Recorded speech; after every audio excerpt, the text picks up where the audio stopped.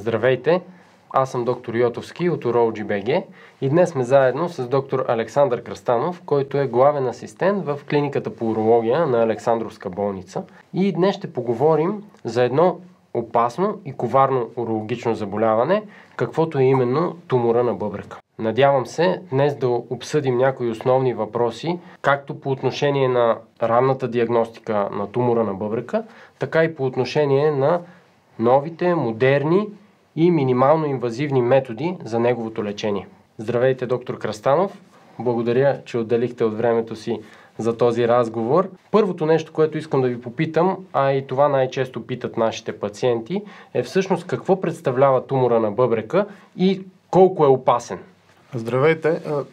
Темата за туморите на бъбриците а, наистина е изключително обширна и най-вероятно няма да можем да обхванем всички нейни аспекти. А накратко, тумора на бъбрека произлиза от самия бъбрек. В началото той нараства бавно и е с, с малки размери, но, но с напредване на боляването той може да обхване целия бъбрек и дори да излезе извън неговите граници. Естествено, като всяко онкологично заболяване, туморите на бъбриците са опасни. Но ако се хванат на време, докато са, са малки и бъдат отстранени, с това лечението може да приключи. От друга страна, ако не се лекуват своевременно, тумора на бъбрека може да, да достигне много големи размери, да обхване други органи и това да доведе до фатален край. Това звучи наистина стряскащо и в този ред на мисли има ли някакъв характерен симптом, нещо за което хората да внимават, така че да могат да открият тумора възможно по-рано? Това е много добър въпрос. Понеже тумора на бъбрека в началните стадии протича напълно безсимптомно.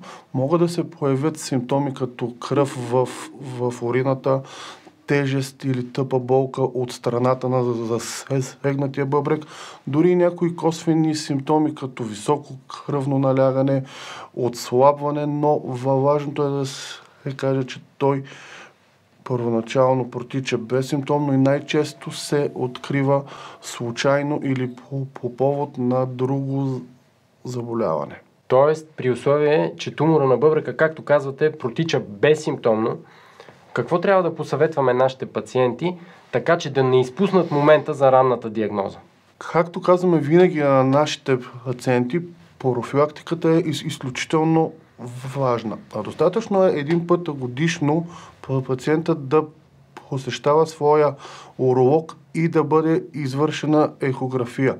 Именно ехографията е метода, който ни позволява да откриеме туморите на бъбрека още в, още в ранен стадий, докато са по 2-3 см, което изключително подобрява прогнозата. А освен ехографа, който ние извършваме всеки ден, може да се каже, има ли някакви други по-модерни, по-сложни методи за диагноза в ранен стадий на заболяването? Естествено, ако уролога се усъмни в нещо, докато преглежда ехографски своят пациент, той може да прецени да го изпрати на скенер или на, или на ядрено-магнитен резонанс, които методи много по-точно и по-прецизно ни дават информация относно тумора, неговата големина, неговото отношение към, към околните органи.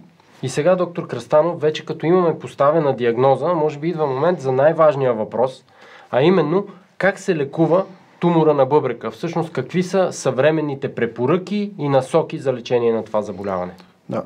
Модерният метод за лечение на тумори на бъбреците е лапароскопската или робот-асистираната операция. Това е метод, при който чрез малки дупчици в тялото се прониква, изрязва се тумора или, или се премахва целият бъбрек и след това се отстранява чрез малък разрез на кожата.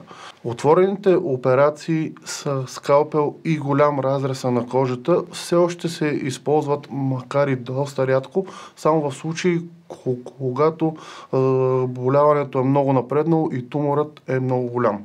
всъщност тогава какви са предимствата на лапароскопската операция в сравнение с отворената, която казвате? Предимствата на лапароскопската операция са първо по-краткия болничен престой, по-бързото възстановяване на човек и по-бързото му изписване от болницата. Е, това никак не е малко за пациентите. Ако могат да бъдат изписани по-бързо или да имат по-малко кръвозагуба, мисля, че е сериозно предимство. А, искам да ви попитам, доктор Крастанов, казвате, че за да бъде премахнат един тумор, понякога се маха и бъбрека, целият бъбрек. И в този ред на мисли, може ли човек да живее само с един бъбрек?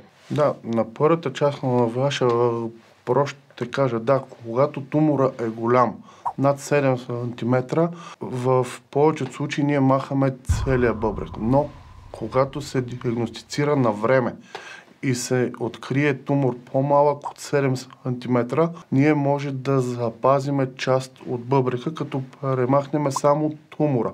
Това разбира се се преценя индивидуално за всеки случай, но това, което ме питахте, човек абсолютно спокойно може да живее само с, само с един бъбрек и то без никакви осложнения.